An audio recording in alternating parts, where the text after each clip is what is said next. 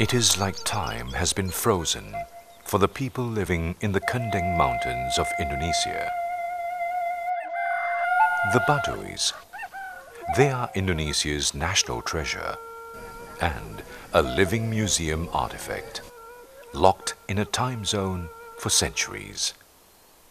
They see no evil, hear no evil, and they subsequently do not do evil.